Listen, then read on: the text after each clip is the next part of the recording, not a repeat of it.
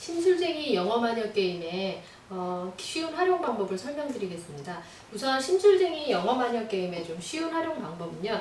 이와 같이 게임 틀을 어, 구성을 하고요. 여기에서 세 종류의 카드가 있습니다. 우선 여기 주황색 테두리가 있는 것은 테마 카드가 되겠고요. 나머지들은 이 테마에 속하는 그 기본 단어 게임인데요. 쉬운 게임에서는 여기 보시는 바와 같이 위아래 파란색 마커가 있는 카드가 있습니다.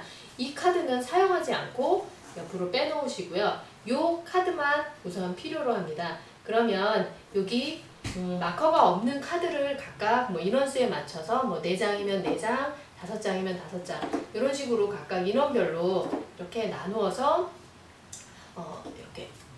들게 되겠습니다. 그럼 자신이 가진 카드는 자신만 보고 이와 같이 뭐 4명이다 그럼 보고 그리고 나서 남는 카드는 뒤집어 놓고요. 그리고 여기에 아까 테마 카드 보여드렸듯이 테마 카드를 그림이 보이지 않도록 가운데 뒤집어서 놓습니다. 그러면 자신의 차례에 테마 카드 하나를 뒤집어서 앞에 거를 뒤집어서 여기 마법의 반지 위에다가 이렇게 펼쳐놓습니다. 그러면 이 주제에 해당하는 카드가 자신한테 보고 있으면 있으면 여기에다가 이런 식으로 올려놓게 됩니다.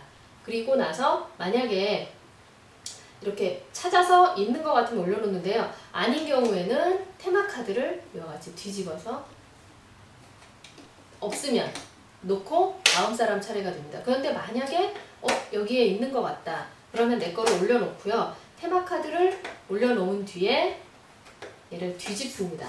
두 개를 다 뒤집어 놓고 빨간색이 소뚜껑인데요. 소뚜껑을 이렇게 뒤집어서 여기를 펼쳐놓고 보시면 어, 여기에 같은 그림 만약에 테마에 속하는 그림 카드가 맞다면 이와 같이 여기에는 이제 거미 모양이 있는데요. 같은 모양의 그림이 이 소뚜껑 그림 아크릴판을 통해서 보이게 됩니다.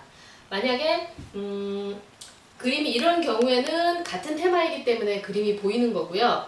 테마가 어, 만약에 아닐 경우는 이렇게 하나는 거미고 하나는 이렇게 박쥐 그림이 보입니다. 그러면 여기에 맞는 테마가 아니기 때문에 이런 식으로 다시 내려놓고 만약에 이 사람이 같은 테마일 경우에는 소뚜껑을 열고요. 여기 막대기를 이용해서 소뚜껑을 한 번, 두 번, 세 번 굴려줍니다. 그러면 이 안으로 이 어, 카드들이 들어가게 되어 있는데요. 이런 식으로 들어가면 다음 사람이 역시 예, 테마 카드를 바꾸어서 놓고 자신에게 있는 테마일 것 같은 카드를 올려놓고 여기에 만약에 이와 같이 가방이 이 테마일 것 같다. 그러면 올려놓은 후에 두 개를 다시 동시에 뒤집어서 소뚜껑으로 열고 맞으면 얘를 내려놓고 소뚜껑을 돌려주게 되어 있는데 만약에 틀렸을 경우에는 도로 가져가고 테마 카드 역시 바꿔주게 됩니다.